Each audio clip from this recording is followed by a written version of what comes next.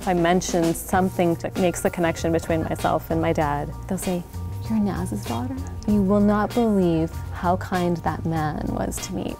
So it happens a miraculous number of times. Everybody loves Naz and knows Naz. He's built relationships in this town, and I think Naz is living his dream. Everyone who came into this pharmacy knew Naz, and they didn't know him as the guy behind the counter. Everybody said, Hi, Naz. I'm outside the counter more than inside.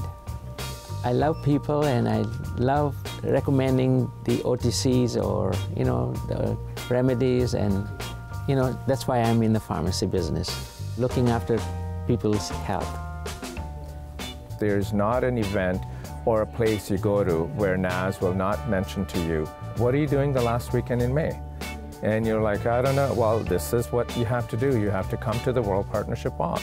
We have such a diverse culture in Victoria. And Naz is one that has tried to connect each one of the different cultures together. He wants everybody to be able to interact with one another, get along with one another, work together, support and help one another.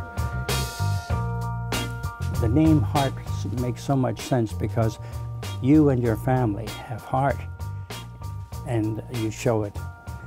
And I think uh, if we had more citizens who were showing heart and helping and caring, oh man, we'd even have a better community than we do.